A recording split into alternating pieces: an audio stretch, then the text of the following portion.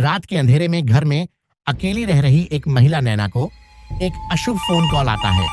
Call पर दूसरी ओर से डरावने गुस्से से भरी एक आवाज़ आती है।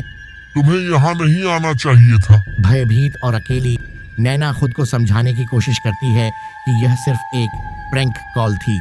लेकिन जैसे ही वह फ़ोन रखती है फ़ोन बार बार बजता है और वही आवाज़ आती है। तुम्हें यहाँ नहीं आना चाहिए था। हर बार आवाज़ अधिक डरावनी हो जाती है। नैना एक चाकू पकड़ती है और सावधानी से अपने मंद रोशनी वाले घर में घूमती है। हर ताले और खिड़की की जाँच करती है।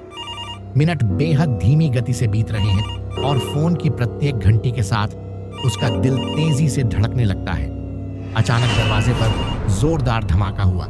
नैना ठिठक गई, उसकी साँसें गले में अटक गईं। धमाकों की आवाज़ तेज और अधिक तीव्र हो जाती है। मौत की घंटी की तरह खाली घर में गूंजती है। अपना सारा साहस जुटाते हुए नैना दरवाजे के पास पहुँचती है। हैंडल तक पहुँचते समय उसका हाथ काँप रहा था। एक गहरी सांस के साथ वह दरवाज़ा खोलती है। जो भी भयावहता उसका इंतज़ार कर रही है। नैना उसका सामना करने के लिए तैयार है। लेकिन वह दरवाज़ा खोलती है तो वहाँ कुछ भी नहीं होता। राहत महसूस करते हुए नैना दरवाज़ा बंद करना शुरू कर देती है।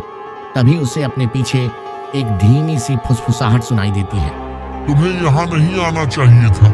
वह पीछे घूमती है और देखती है कि डरावना आदमी एक चाकू लिए कुछ ही दूरी पर खड़ा है। उसके चेहरे पर डरावनी सी मुस्कान है। इससे पहले कि नैना कुछ प्रतिक्रिया कर पाती, वह आगे बढ़ता है और चाकू उसकी छाती में घोंप देता है। जैसे ही नैना ज़मीन पर गिरती है, डरावना आदमी उसके करीब झुक जाता है।